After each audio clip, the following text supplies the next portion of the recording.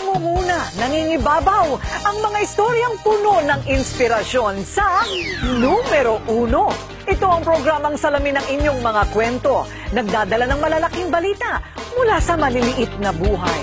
Ako si Corina at ito ang Rated King.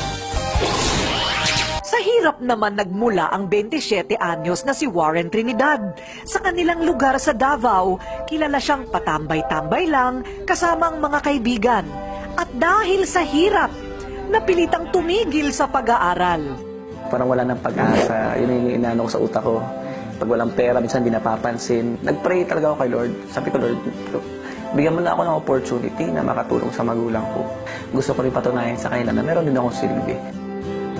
Tulad ni Drex, ang pag-aahente ang nakita ni Warren na paraan para mapaganda ang buhay ng pamilya.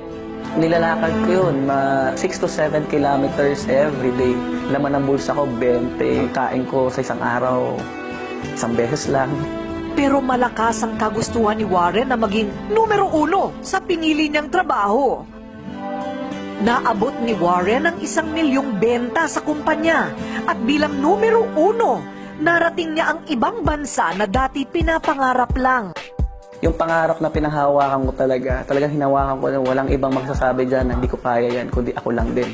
Ngayon, may sarili ng bahay si Warren. Magagarang kotse. At marami na ring buhay na natutulungan. Pas.